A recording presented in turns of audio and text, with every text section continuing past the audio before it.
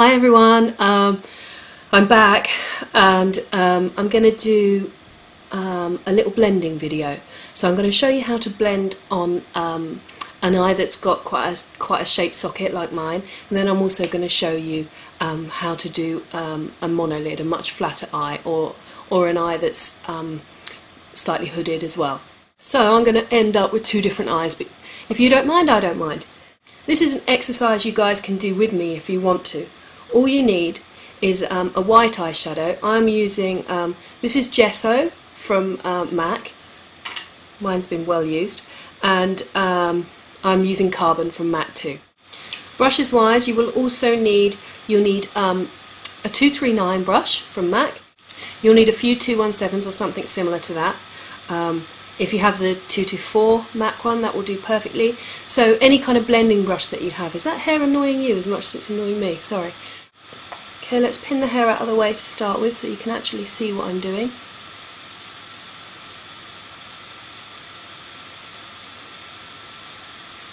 If you can blend with a black and a white, you can blend any two colours together, okay, because they're the, they're the most contrasting colours. So we're going to start off with gesso, which is the white.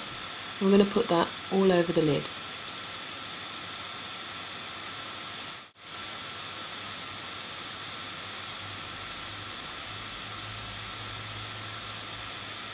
Now my brush has got the most product on it when I put the brush to the eye, so we want the most product close to the lashes, okay, and then without putting any more product on, I'll just blend that up. I'll feather it towards the brow, in fact, but you probably won't see it at the brow. This may well look quite horrendous, but if you can do this, then it will really set you up for all other colours that you plan to blend. So now with your 239, we're going for a bit of carbon. Now before you put this product onto your eye, tap it off, okay? Touch it on your hand or tap the brush to get rid of any particles um, because those loose particles are the ones that are going to drop under your eye and make a real mess. So now what we're going to do on this eye, we're going to bring the colour across the lid, there, and then so we use the side of the brush to get that across the lid and then we're going to use the tip of the brush just to put a little socket shape in okay? Now what you don't want to do is bring this if you if you look at the underneath line if you look at the water line under your eye and, and if that water line were to follow up then you don't want to bring this black any lower than if that water line carried on up does that make sense? It makes sense to me. Um, any lower than that natural shape, and this is going to make your eye appear uh, to droop, okay? And you always want to lift the eye. And for those with um, a monolid or a flatter eye, or even a hooded eye, all we're going to do is use the flat of the brush to bring the colour across. Okay? With your 217 blending brush, we're going to start blending, okay? Now, I'm using just the very tip of the brush to blend, okay?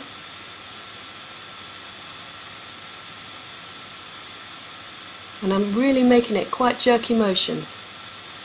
And then smoother motions, and then quite jerky motions, and then smoother motions. What you don't want to do is this because you don't have so much control over your product. And the only way to get a really nice finish with an eyeshadow is to blend it, reapply and blend it. Because you'll find, even, you know, if you bear in mind how long I've been doing makeup, um, even when I do makeup, can you see that slight creasiness that you get? You'll get that. But if you blend and reapply, you'll lose it. It's when you don't do that enough that you keep that creasiness, okay? So come back in with a bit more black, carbon, sorry. Same place you put it before.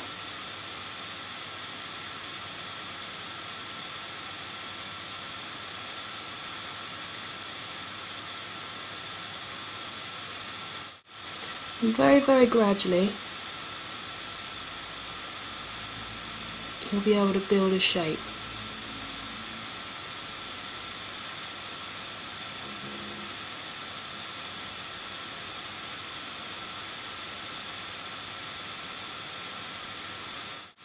And now for the other eye.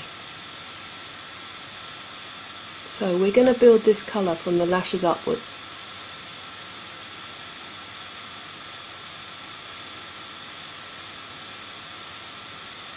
Obviously if there is no socket line then it looks funny if you kind of draw one in. So we're going to create depth by using the lashes as our kind of monitor if you like. We're going to get as much depth, depth as close to the lashes as we can. If you saw the Dior trend um, video I did, you'll see that I did a similar shape with that.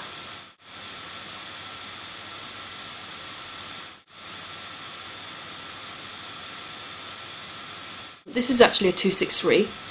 Using our 263 from MAC, I have um, I've just wet my um, my carbon eyeshadow, and I'm going to use that kind of as a liquid liner, if you like.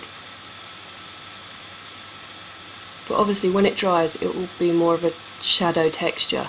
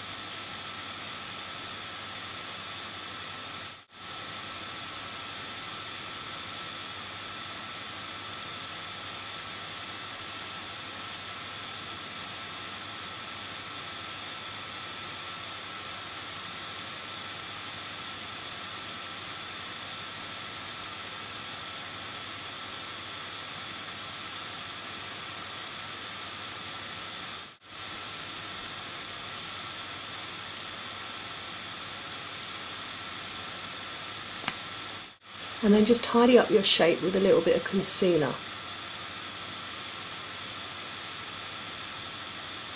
Make sure you've got rid of any black that's dropped under the eye and just take your foundation brush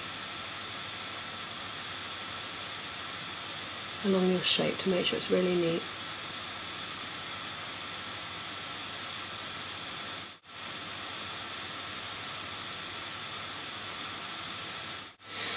So I guess the best way for you to see is one eye at a time. So blending for a socket line and blending for um, a monolid eye.